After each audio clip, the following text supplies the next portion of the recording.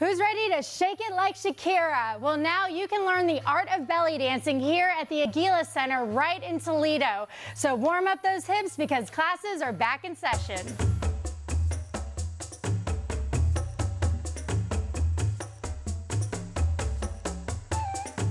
This dance form relies on your unique personality. There's no end to what we can learn about this, this dance, like learning a new language. We're just speaking with our hips. This is Emily with your Toledo Now.